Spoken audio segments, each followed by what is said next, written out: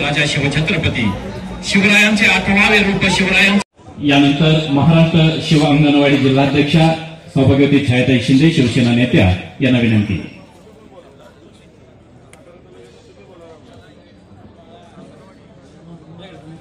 त्याप्रमाणे आपण मथुरला सांगता